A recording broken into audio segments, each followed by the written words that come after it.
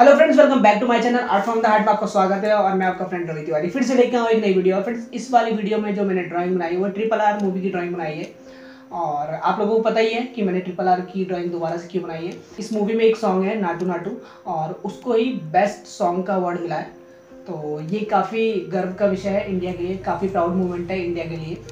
और इसीलिए मैंने ट्रिपल आर की ये वाली ड्राइंग बनाई है। और ये कॉन्सेप्ट आर्ट है, आप लोग देखेंगे इस ड्राइंग को तो आपको समझ में आएगा किस तरीके से मैंने क्रिएट करने की कोशिश करी है।